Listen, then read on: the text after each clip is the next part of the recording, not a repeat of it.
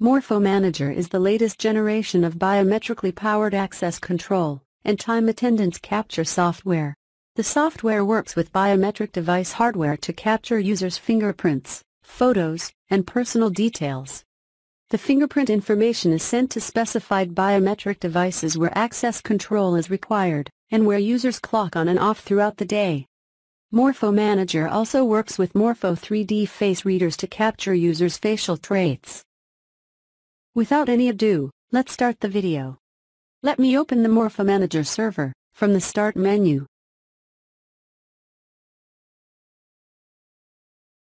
Do you want to allow this application to make changes to your device? To continue click on Yes.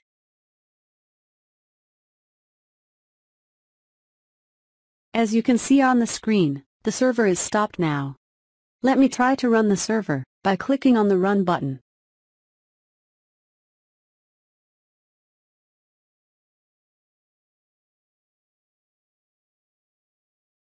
It's trying to run itself, but not able to run, as you can see on the screen. However we have to check what's the error, why it's not able to run itself. So open Windows Event Viewer. Then, navigate to the application, and refresh the events, by right-clicking on the recent event. Then click on Morpho Manager Error. As you can see, it's giving an error as access is denied, even all the administrator permissions enabled for this server. User can try to run the server, from Windows Services. Minimize this window, and try to run the server from Windows Services. To do that, open Windows Services, by searching from Start menu, and search for Morpho Manager service.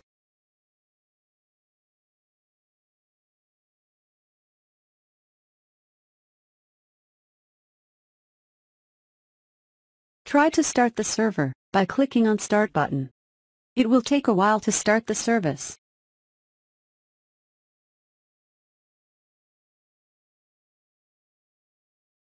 Again it's giving an error, as Windows could not start the Morpho Manager server service on local computer.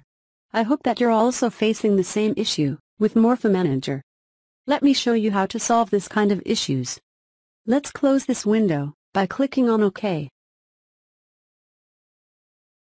Now search for Multi-Protect License Service and check its status. Running or stop. As you can see this service is running. So stop this service for short time by clicking on Stop button. It will take a while to stop the service. Now let's try to run Morpho Manager server.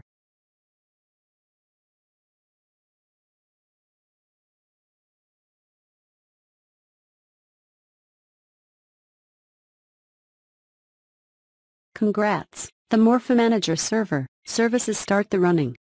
Let's minimize this window and go back to Morpho Manager server window. As you can see, here the server is running. Multi-Protect License is a service developed by IDEMIA for protecting Morpho Manager server licensing policy. However, sometimes it will give this kind of issues. Let's go back to Windows Services and start again Multi-Protect License service. Before that go to Properties and make sure the startup type should be an automatic delayed start. Because when the user restarts the computer, the Morpho Manager server service should start first and then the multi-protect license should start. So users will not get the same problem every time, when computer restarted.